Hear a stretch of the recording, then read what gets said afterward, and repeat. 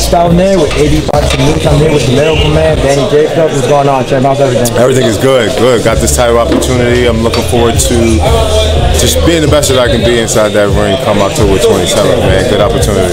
The vibe for this press conference has been very different and some, somewhat strange in terms of you guys are friends, you guys have been in the ring together. How do you feel, like, honestly, about this opponent, knowing that Luis Arias and Sulecki was, uh, was a different vibe as well? That's just boxing for you. Boxing will always show you twists. Boxing is going to always show different sides that you probably are uncomfortable with or you have to get uh, adjusted to. Floyd always said it. The great Floyd Mayweather. True champions always learn how to adjust. So that's really just my mentality right now and the awkwardness of the press conference and having my team and everybody together.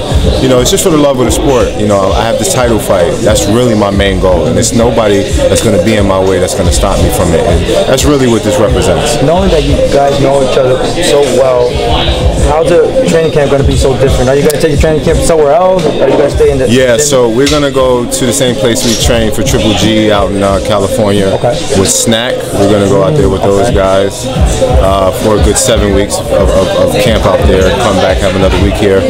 So it's going to be. I would have been had a full 12 week camp. I've started training already. Shit, I'm down there in weight right now. So this is, shows you how serious I'm taking this fight. Um, like I said before, I know this guy. The world may not know him, but he's a he's a he's a really talented guy. I just use my best attributes, uh, use my skills, uh, and be sweet in that ring, and I think everything will come together. I've seen a couple of interviews with Billy Joe Saunders, and you know before he mentioned that, you know he would say he wanted to fight this and that. You called him out, and now it seems like this time around he actually does want to fight you, even though he got the boo boo fight along yeah. the way. Well, see, he's all twisted because he has a fight ahead of him, and I have a fight ahead of him. So I'm not thinking about Billy Joe Saunders. I've called him out several times. Uh, we'll talk after our fights happen. Um, hopefully, uh, I wish the best about the Boo Boo though. I'm not even rooting for Billy Joe Saunders. I'm not even thinking about him as even a potential fight because I've always called him out to no avail. So my thing is, you know, God willing, when I get this this victory and this title, uh, sky's the limit. And uh, I don't know where BJ Saunders fit, but you know, if that's what the fans want, then that's what I have to do.